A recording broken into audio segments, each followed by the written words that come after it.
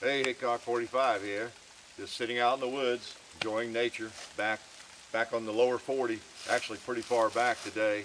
Gonna do another vlog. This is vlog six. Uh, we're uh, right at 6,000 subscribers, so that's kind of been the plan. Do a vlog uh, every thousand subscribers. See if I can bore you at those intervals. Okay.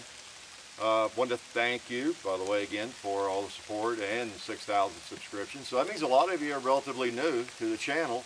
I see comments pretty often and I get messages pretty often about people who just stumbled upon the channel and they're going back and looking at the videos. So you're, you're kind of new to me. Maybe if you uh, do check out the vlogs, the vlogs are more intended for subscribers, people that, that, that really do like these videos. They're not just someone who wandered in and you know liked one video and left maybe. Uh, so I, I, really do have that in mind when I do a vlog. It's uh, the people who have watched most of the videos or all of the videos, and they're willing to put up with my rambling. Yeah, they kind of know me and forgive me for that, uh, I guess. But I wanted to thank everybody, especially for the support of the 100th vid. Uh, that video has uh, gotten a lot of support. Uh, my son did a great job, so uh, wanted to give kudos to him. Uh, the editing was, was pretty good on that. And uh, the outtakes video as well. Uh, he loves to get good outtakes on me. I know he squirrels them away. He's got the camera running when I don't even know it. You know, he does a lot of that. And uh, he hides those things away for a later date, so I got to watch him. Got to watch him. Uh, believe it or not, even with those outtakes that you saw with me kind of being goofy, making mistakes here and there, most of the videos do uh, work out the first take, you know. Uh, now we're starting to get rain here. I was just sitting out in the woods enjoying nature and my son showed up with the camera so I thought we'd do a vlog. Uh, but uh, maybe this will all be one big outtake if it starts to rain a little bit harder. Uh, but generally speaking, again, uh, sometimes at the beginning of a video we start off a little rough or I need a practice run just because I say something kind of stupid or I start rambling off on some other track, you know, but generally speaking, we just turn the camera on and do them.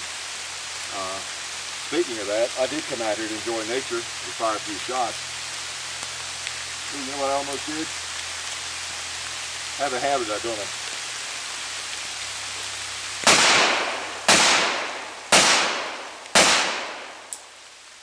Alright. Good old Colt single action, 45. I just feel better with that in my hand. Even if it is raining. Uh, a couple of things I wanted to talk about, and I guess we'll speed this one up. You'll like this one uh, since it's starting to rain.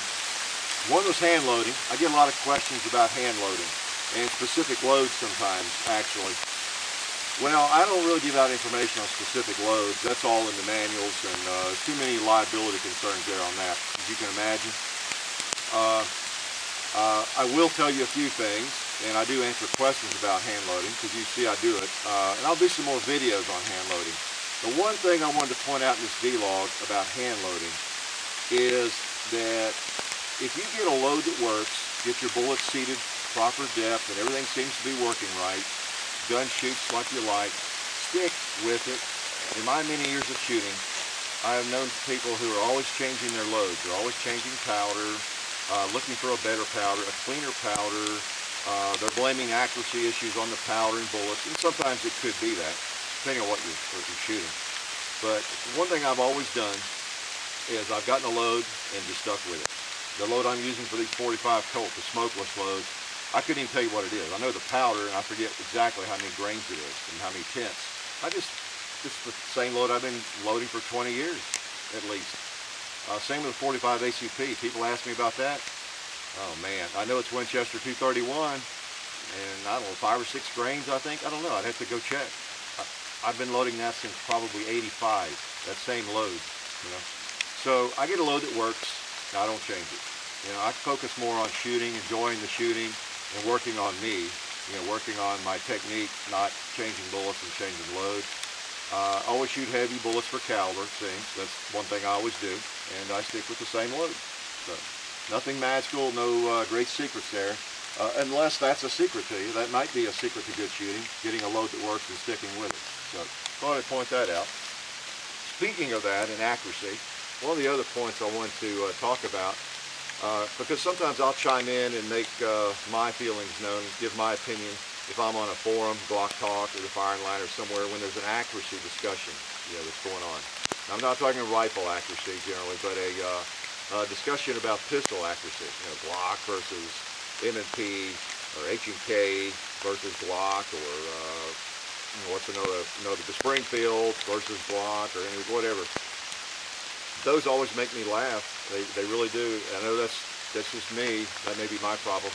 But accuracy in a practical pistol, a defensive pistol, most of the shooting we all do. Uh, the reason we like Glocks and, and shooting these things, uh, shooting steel targets, uh, competition even, unless it's bullseye competition.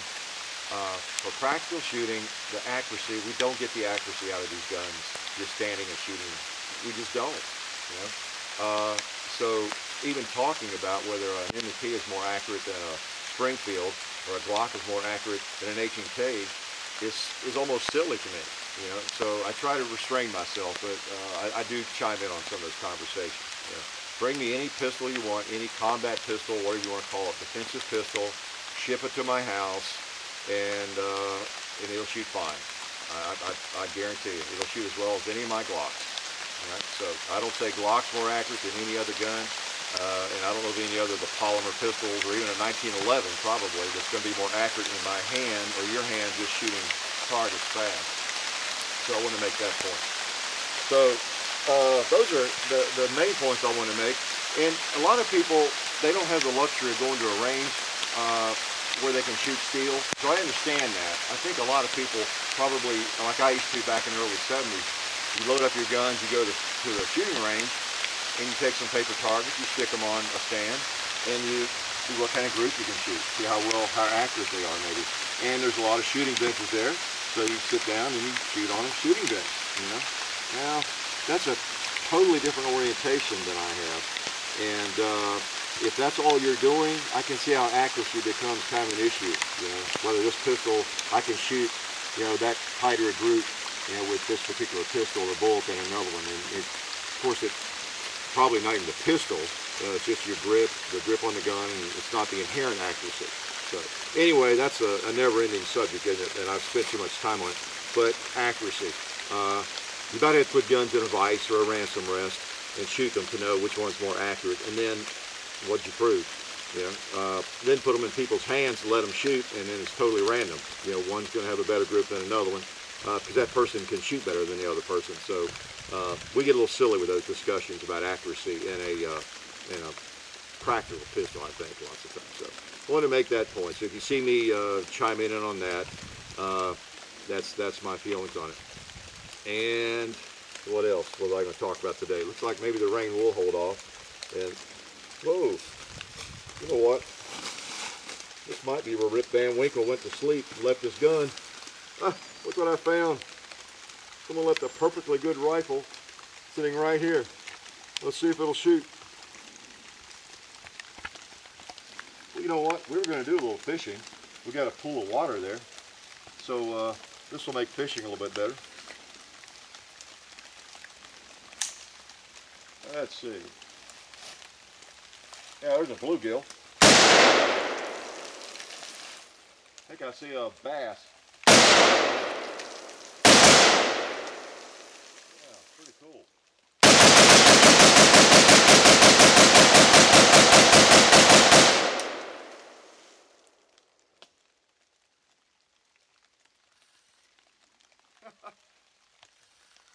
Think we've cleared out all the fish from that pool, so we're going to go collect them. That usually stuns them, then we take them up and uh, you know cook them in the kitchen.